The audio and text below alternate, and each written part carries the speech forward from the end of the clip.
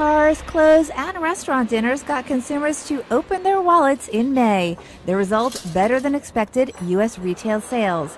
Retail sales rose half a percent last month, according to the Commerce Department, after surging by 1.3% in April. Sales were 2.5% higher than a year ago.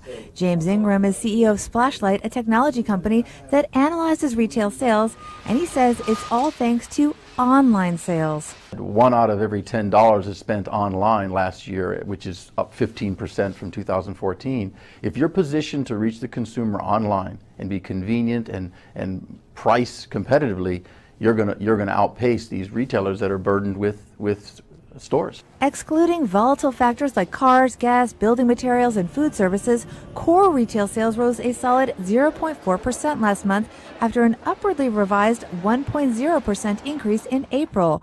But Lakshman Achuthan, Chief Operations Officer and founder at ECRI, says just because it is better than expected doesn't mean it is good enough.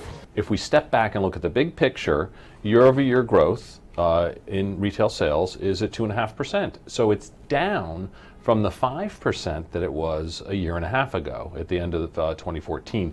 So I think the slowdown idea that the Fed is wrestling with is completely um, supported by this latest retail sales data, even though it's a little better than expected.